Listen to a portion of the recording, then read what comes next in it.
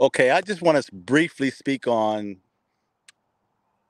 quite a few videos I saw on YouTube regarding Diddy, formerly known as P. Diddy. Now, we've already known or had some type of idea that that P. Diddy was a sodomite. We knew that already. But we really didn't know, or personally, I didn't know the very depths of that rabbit hole. No pun intended. Now, Clive Davis is alleged to have had a relationship, a five year relationship with Diddy, an old white man. What is up with these brothers dating old white men? I remember who was that? Nature Boy was in a video with an old white man for money. Brothers, is that where we are now? Is that what we're doing today? Prostituting yourself out to white men? Is that what we're doing today? You're going on your knees in front of another man for fame and fortune. What would a man give in exchange for his soul? Now, a lot of what we hear about P. Diddy, you've heard about that, but it's sickening, man. The videos now, I question Jaguar White. I mean Jaguar, Jaguar, Jaguar Wright, and Gene Deal. Now these are the two main sources because the videos I watched, they all got their information from Jaguar Jaguar Wright. Having problems pronouncing that woman's name, Jaguar White. You know who I'm talking about. So they either got it from Jaguar Wright or Gene Deal.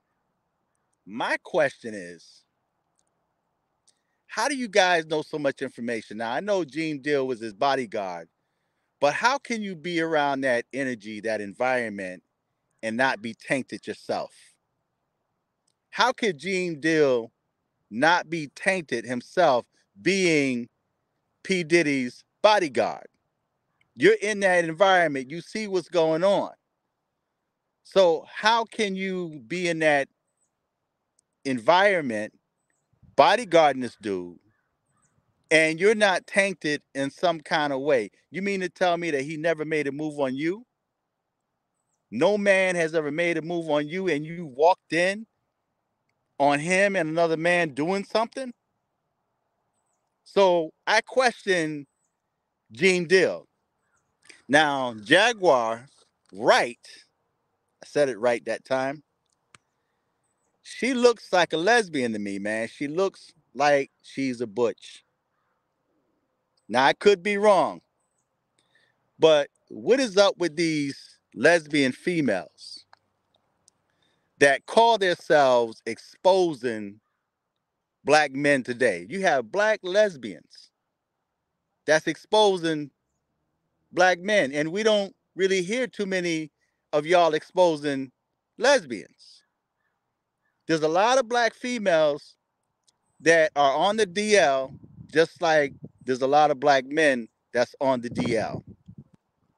So why aren't you criticizing the females that's going between other women legs? But yet you would make it news when you hear about a black man going between another man's legs. Now, it's all disgusting, but it's like those people that talk about snitching. Now, if you're in that lifestyle yourself, isn't it snitching for you to tell on somebody else that's doing the same thing that you're doing or living the same life that you're living? So, how can you point fingers at P. Diddy or any other dude that's on the DL that's a sodomite when you are a sodomite yourself. Make sense of that for me. So it's like the pot caught in the kettle black. So Jaguar Wright looks like a lesbian to me. And I almost guarantee you, because of the environment that we live in today and because of the fact that she was also in the music industry, I would not doubt it at all if she's been in a relationship with a woman. And I would not doubt it at all if she's in a relationship now with a woman. And again, Gene Deal. How could y'all know all of this with details and not be tainted yourself? So I question the messengers.